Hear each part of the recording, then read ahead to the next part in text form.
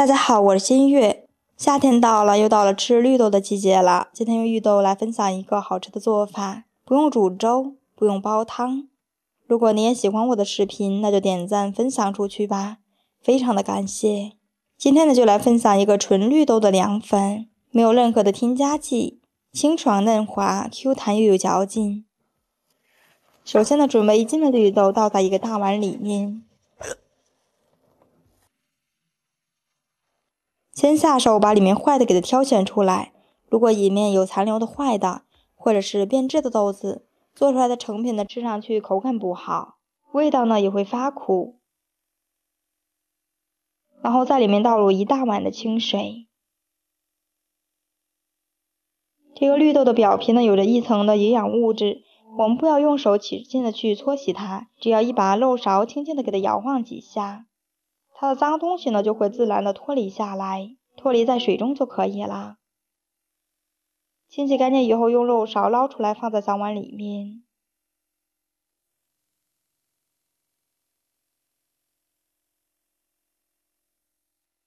提前烧一壶开水，这个呢是大禹家的天鹅水壶，颜值呢真的是非常的高，而且它的声音呢比较小，加热的速度也非常的快。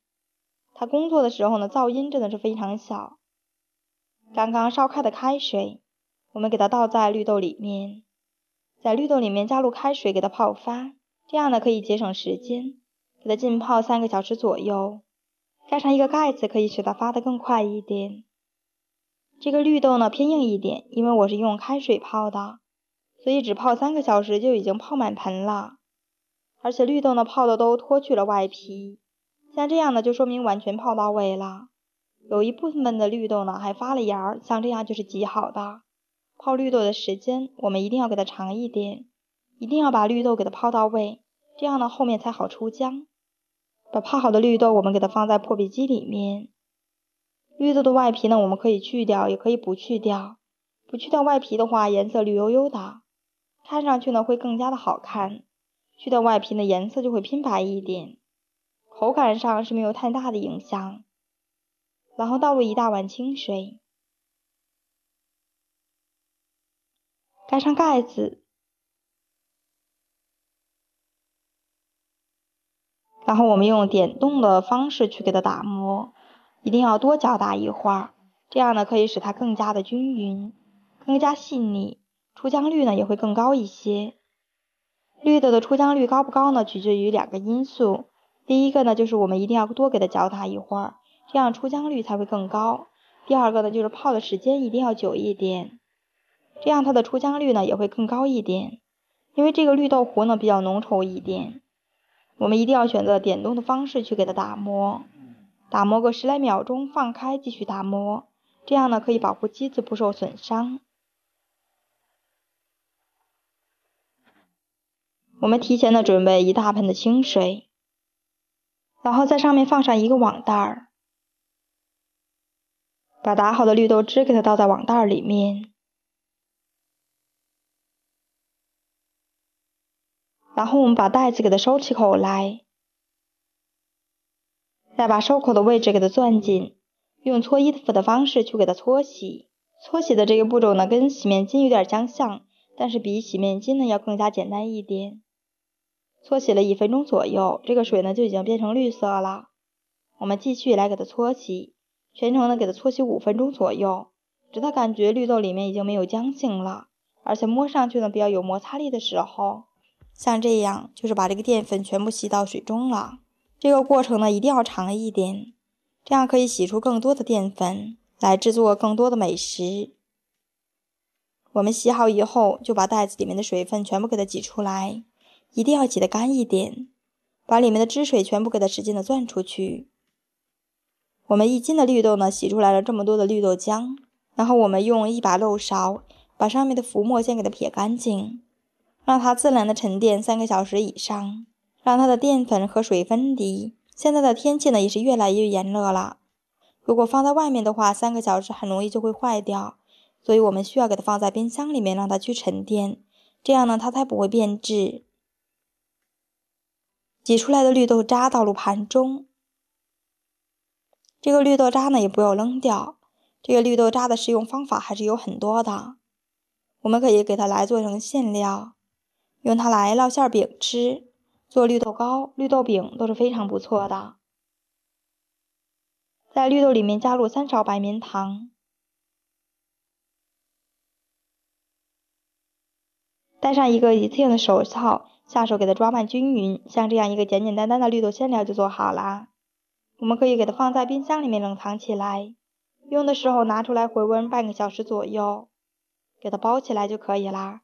包在面皮里面，就是好吃的绿豆馅饼了。现在已经沉淀了三个小时左右了。把上面的清水先给它倒掉，看一下它的淀粉沉淀的效果。可以看到最底层的呢就是淀粉了，这个就是绿豆粉的生姜，不需要等到完全脱水了，我们现做现吃。如果想要保存的更久一点呢，我们可以给它脱水，把它放在太阳底下去晾晒，或者是放在蒸烤箱里面去给它烘干烤就可以了。然后我们给它装到一个袋子里面，就是纯纯的绿豆淀粉了。我们可以看到，它是一个非常细腻的糊状，就好像老酸奶的状态一样。淀粉水呢是属于非牛顿液体，我们一定要给它搅拌均匀，搅拌化开以后才可以给它取出来。如果直接舀出来的话是盛不出来的。把绿豆淀粉先给它倒在一个小碗里面，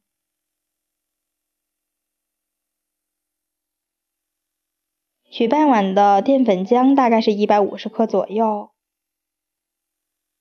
加上四碗或者是五碗之前倒出来的绿豆水，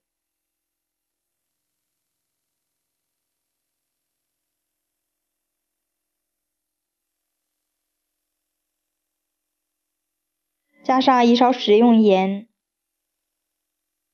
半勺的食用碱面儿，搅拌均匀。加入食盐呢，可以增加它的一个底味儿，也可以使它更加的筋道。加入碱面呢，可以保留它的颜色，使它更加的 Q 弹。搅拌均匀就可以啦。先给它放在一边备用。把搅拌好的绿豆淀粉水倒在一个无水无油的锅中，全程的开中小火，用铲子不停的搅拌着，防止淀粉糊底。淀粉一旦糊底的话，就容易造成糊锅，所以我们一定要不停的给它搅拌。我们切记呢，不要用大火，用大火的话容易造成底部糊掉，表皮呢还没有熟，所以我们全程用文明火慢慢的给它温着就可以啦。因为这一大锅呢比较多一点，所以用的时间呢就会比较久一点，大概五分钟左右，锅中绿豆糊呢就开始慢慢的煮开了，随着温度的升高，底部也开始结块了。这个时候我们一定要不停的搅拌，千万不要懈怠。通过搅拌呢，我们就可以看得出来，结块变得越来越多了。结块一旦形成了，离了出锅的时间呢就不远了。从出现结块到出锅，最多需要五分钟左右。随着时间的推迟，温度的升高，颜色呢也开始有了变化，从一开始的偏乳白色，慢慢的转为了透明色，再慢慢的转为翠绿色。这么满满的一大锅呢，全程是需要大概十分钟左右。最后搅拌到锅中呈现非常细腻的状态，颜色最后全部转为翠绿色，并且可以看到不停的冒起大气泡的时候，像这样就说明熬好了。然后我们给它出锅，熬好的状态呢，就是我们取出来，呈现的是倒三角的状态，而且不会滴落，表皮的纹路呢不会轻易散开，像这样就可以了。我们先给它倒在一个模具里面，这个模具呢一定要是无水无油、干净的状态。我们可以根据自己的喜好来决定它的形状，圆形的、方形的或者是三角形的都可以。然后我们用铲子稍微给它整理一下，给它整理平整、涂抹均匀，这样做出来的成品呢会更加好看。也可以震几下，震出里面的大气泡，这样也可以使做出来的成品更加细腻。然后我们先给它放在一边，自然放凉就可以了。不要放在冰箱里面，容易影响成品。而且温度太高的东西放在冰箱里面，对我们的冰箱也不好。准备一个打蒜器，放上几把大蒜，然后盖上盖子，打成蒜末。搅打的不用太碎了，有点颗粒状，像这样吃下去呢，口感会更好。最后给它搅打成像这样的状态就可以啦。在里面加上两勺米醋，不喜欢吃太酸的，放一勺米醋就可以。一勺生抽，一勺的芝麻香油，两克食用盐，三克白胡椒粉，两克白糖提鲜，一勺辣椒油，加上少半碗的清水。搅拌均匀，我们的料汁就做好了。现在呢，这两天河北天天在下雨，温度是非常低的，最低的温度呢已经达到了十二度。在这么低的气温下，这个绿豆凉粉摸上去呢还有着一点点温热的状态。我们用手给它拍打一下，就可以看到它现在已经变得非常 Q 弹了，完全凝固好了。做的这个绿豆凉粉呢，真的是非常的成功。我们轻轻的拍打，就会发现它非常的有韧性，非常的 Q 弹。因为它是纯绿豆做的，所以我们吃上去呢会更加的健康。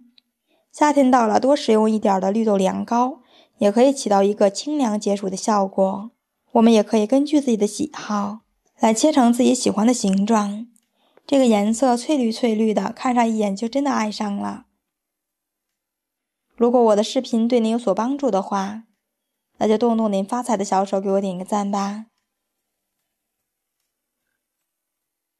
切好以后呢，收到碗中来，放上调拌好的料汁就可以开动了。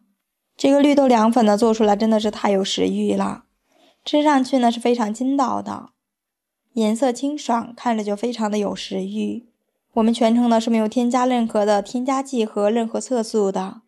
一斤的绿豆呢，我只用了一半，就做了这么满满的一大盆。我们可以一次性多给它做上一点，放在冰箱里面冷藏起来。夏天到了，想吃的时候随吃随取，也是非常的方便。而且它的保鲜期呢也比较久，放在冰箱里面冷藏起来最少七天不坏。这个凉粉呢，因为里面是添加了食盐和碱面儿，所以它非常的有韧性。我们上去呢怎么给它搅拌去拉扯，它都不会断，吃上去 Q Q 弹弹的，但是比果冻呢要筋道很多。创作不易，您的每一次点赞和评论都将是我不断成长的动力。点我的头像可以看到更多家常美食视频。我是新月，我们下期再见。大家好，我是新月，今天呢用一大碗面粉教你做一个非常好吃的凉粉，没有任何的添加剂，现做现吃，非常的爽滑又 Q 弹，关键是好吃不贵。如果你也喜欢我的视频，那就点击屏幕上方的有用。给我一个一圈三连吧，感谢您的支持。首先准备一个大盘子作为一个成体，然后再准备一个小碗。这个小碗呢，我们可以当做一个量杯来使用。然后在小碗里面加上一大碗面粉，这个呢就是我们平时吃的普通面粉就可以啦。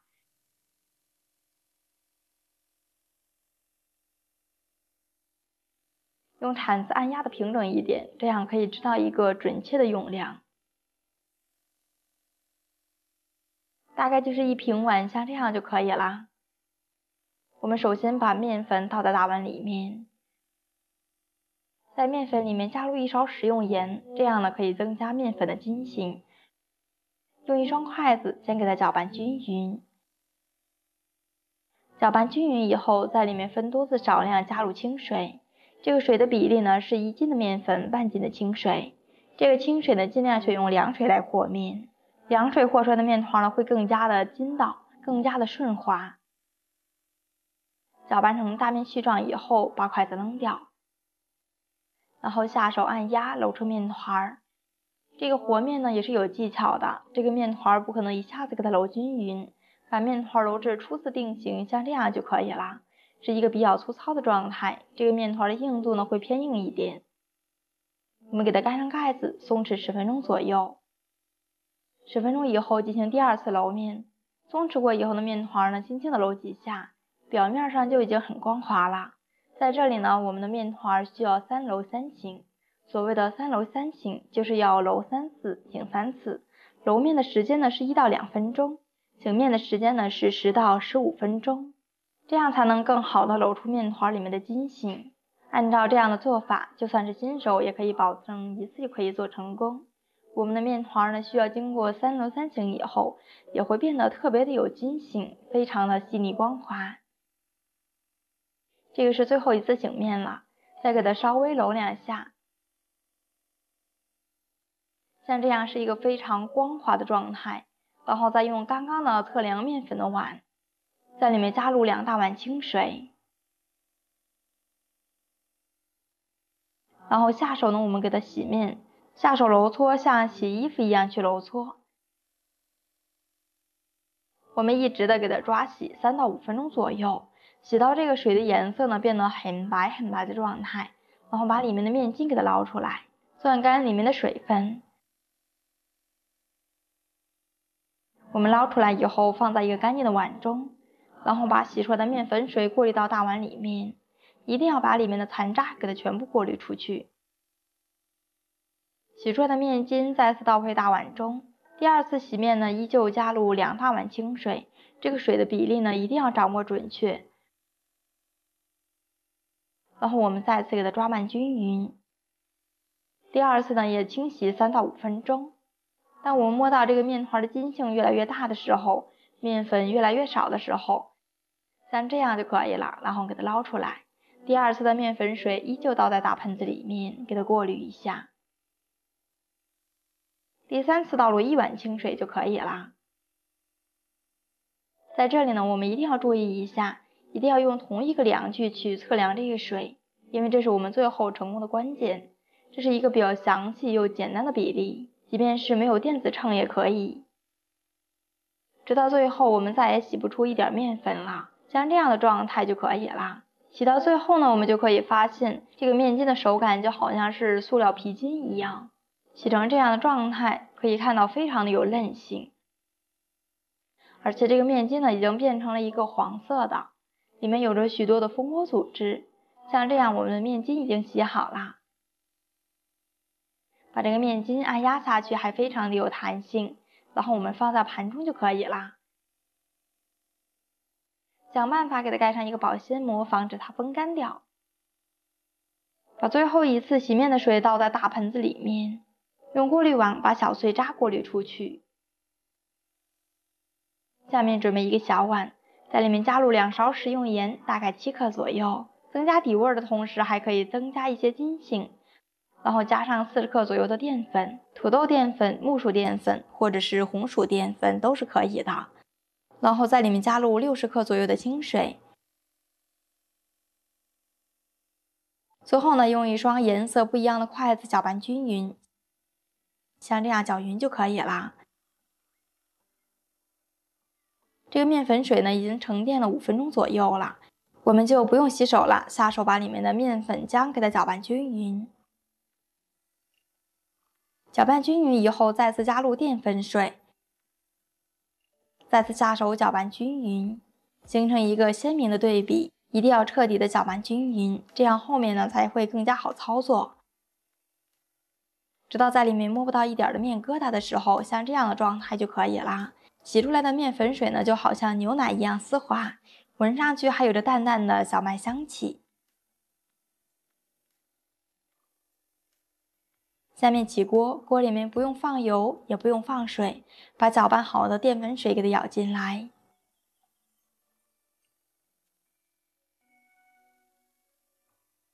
面粉水全部倒进去以后，赶快开火。全程用铲子不停地搅拌着，防止糊底。我们一开始的时候搅得慢一点，我们一定要一直慢慢的搅拌。大概搅拌两到三分钟的时候，锅中开始有一点透明的结块了。然后我们把火转成最小火来熬煮。这个时候呢，搅拌的速度一定要稍微快一点。慢慢的，它就会变得越来越粘稠。随着它的粘稠度，我们也要越搅拌越快。慢慢的，你就会发现它开始由白色变成了透明色，由透明色再变成了浅黄色，最后搅拌成像这样光滑细腻的状态。我们用铲子舀起来，呈现的是片状，像这样就说明熬好了。整个过程大概持续十五分钟左右。我们熬好以后盛出来，放在一个好看的模具里面给它定型。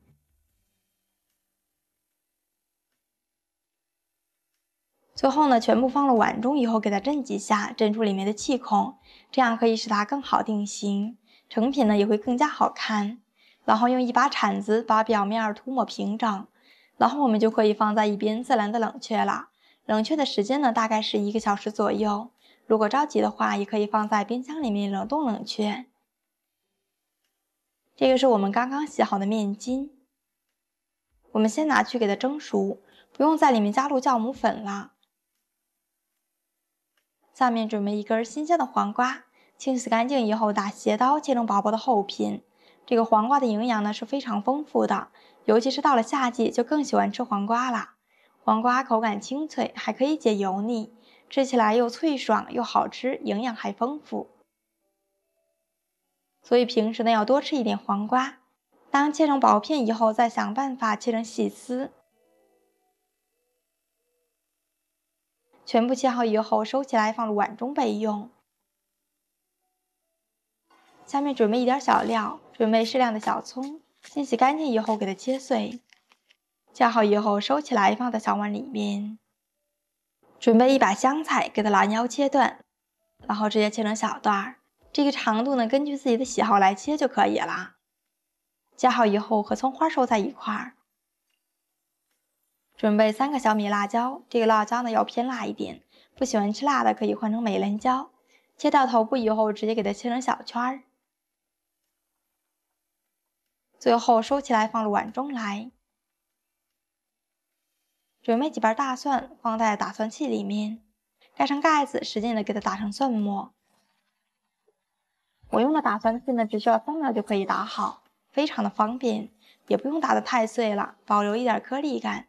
这样口感才会更好。拿好以后，直接和辣椒放在一块儿，在里面加入两勺食用盐，大概五克左右，两克的白胡椒粉调味儿，五香粉少来一点儿，加入一把白芝麻，增香又好看。最后淋上一点烧好的热油，可以激发出蒜末、辣椒里面的香气。这个油呢，要一点一点的倒进去，不用一下子全部倒进去，那样的话很容易炸糊掉。先来给它搅拌一下。在搅拌的过程中，里面的香味儿瞬间就出来了，非常的香。搅拌均匀以后，在里面加入两勺米醋，两勺的生抽酱油，用勺子顺时针、逆时针搅拌均匀，搅拌成像这样的颜色，加入半勺老抽，这样呢可以增加一下颜色。一勺的芝麻香油。加入适量凉水，大概五十克左右，搅拌均匀以后，这个料汁就调拌好了，先放在一边备用。我们的面筋也已经蒸好了，料汁不烫手的时候，想办法取出来。这个面筋呢也蒸的非常好，捏的时候就可以看到回弹性是非常不错的。放在案板上，用刀像这样来切一下，这个块呢可以根据自己的喜好来切就可以了。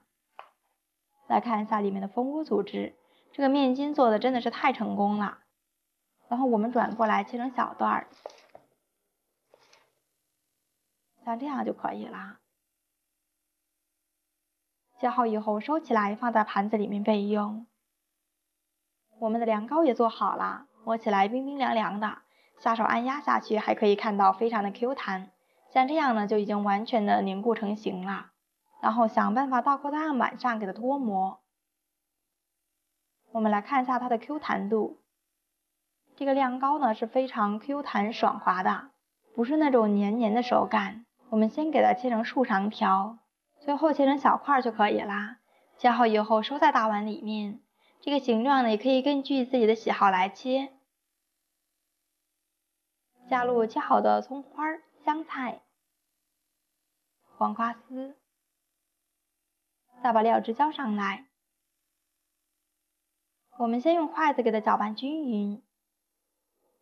刚才忘记加入自制的面筋了，这个千万不要忘了。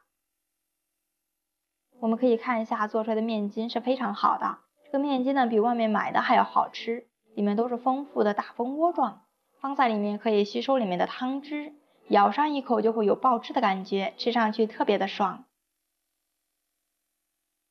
最后搅拌均匀就可以了。也可以根据自己的喜好来搭配一点豆芽儿，会更加的好吃。清凉爽口、非常 Q 弹的自制凉粉就做好啦。食材呢非常的简单，只要有面粉就可以做。做好的凉粉是又软又滑的，既可以当做凉菜来吃，也可以当做主食来吃。